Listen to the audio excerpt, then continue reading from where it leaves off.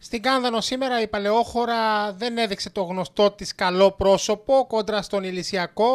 Σίγουρα είναι πλέον ε, σε θέση σωτηρίας και δεν έπαιξε με μεγάλο άγχος και πίεση σε αυτό το παιχνίδι η χανιώτικη ομάδα η οποία είχε πολλά προβλήματα στο μάτς ε, με τον Ηλυσιακό. Ο Ηλυσιακός ήθελε το παιχνίδι βέβαια για την ε, παραμονή του στην κατηγορία. Ένα παιχνίδι μέσα σε κυτρινό μαύρο φόντο αφού και οι δύο ομάδες είχαν τα ίδια χρώματα ουσιαστικά. Βρήκε τον Ελυσιακό να παίρνει νωρίς το προβάδισμα με 0-1.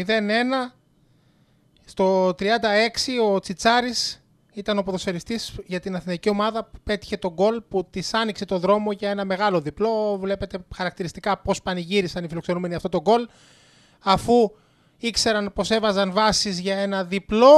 Εδώ μια φάση διαρκείας δεν έφυγε η μπάλα μακριά από την περιοχή της Παλαιόχωρας. Έγινε και το 0-2 στο 38 από τον Μέξη αυτό ήταν και το τελικό αποτέλεσμα.